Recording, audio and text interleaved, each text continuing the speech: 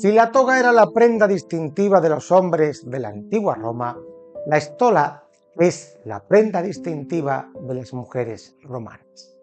La estola, recordamos que era una prenda de la vestimenta femenina en la antigua Roma. ¿Qué simbolizaba? Simbolizaba tanto el estatus social como la virtud de las mujeres romanas. La estola estaba reservada principalmente para las mujeres casadas, siendo un símbolo de respetabilidad y de matronazgo. Las mujeres casadas llevaban la estola sobre la túnica. La estola era generalmente de lana o lino y en ocasiones especiales se confeccionaba en tejidos más finos y decorativos como la seda, reflejando el estatus económico de la portadora.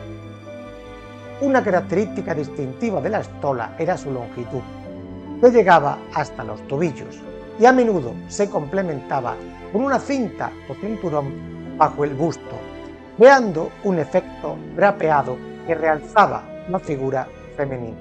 Pero las mujeres de clase alta a menudo lucían estolas adornadas con bordados, franjas de colores y a veces incluso con hilos de oro. El color era generalmente blanco y se consideraba una representación ese blanco de la pureza. Las mujeres también podían llevar las estolas en colores vivos, como por ejemplo el rojo, el azul o el verde, dependiendo evidentemente de la ocasión y de su posición social. El uso de colores costosos como el púrpura, derivado del tinte de la púrpura de Tiro, estaba reservado únicamente para las mujeres de mayor rango, dado sobre todo ese elevado coste del tinte, esa púrpura del tiro que era muy cara de fabricar.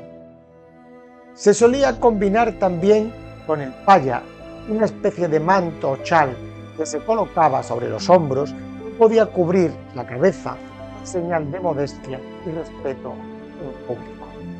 Para terminar, podemos decir que la estola era un símbolo de estatus, decoro y virtud, reflejando la importancia de la vestimenta en la construcción de la identidad y de la posición social en la sociedad romana.